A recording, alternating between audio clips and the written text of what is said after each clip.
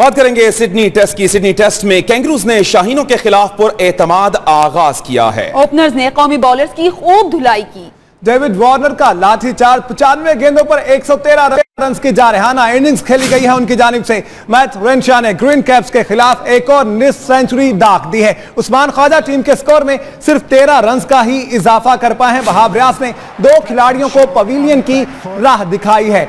आपको Sydney test match के हवाले से अपडेट कर रहे हैं पाकिस्तान और ऑस्ट्रेलिया के दरमियान सिडनी टेस्ट मैच खेला जा रहा है। ये तीसरा टेस्ट मैच है जो पाकिस्तान और ऑस्ट्रेलिया के दरमियान खेला जा रहा है। इस वक्त स्कोर की बात करें तो 224 स्कोर ऑस्ट्रेलिया की जानब से बनाया जा चुका है, जबकि उसके दो खिलाड़ी आउट भी हो चुके हैं। आपको यह बता दें कि मैच रेंशा तिरासी रन पर इस वक्त विराजमान है, जबकि स्टीव स्मिथ 12 रन पर इस वक्त खेल रहे हैं। दो खिलाड़ी ऑस्ट्रेलिया के आउट हो चुके हैं, डेविड वार्नर जो कि 113 स्कोर बनाकर आउट हुए, जबकि उस्मान ख्वाजा ने सिर्फ़ 13 रन बनाए हैं। तो इस तरह ऑस्ट्रेलिया ने पहली इनिंग्स में 224 रन बनाए हैं, जबकि उसके दो खिलाड़ी आउट हो चुके हैं।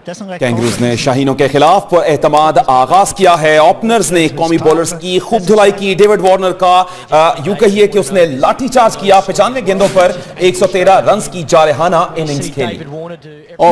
ने ग्रीन कैप्स के खिलाफ एक और निस सेंचुरी दाग दी।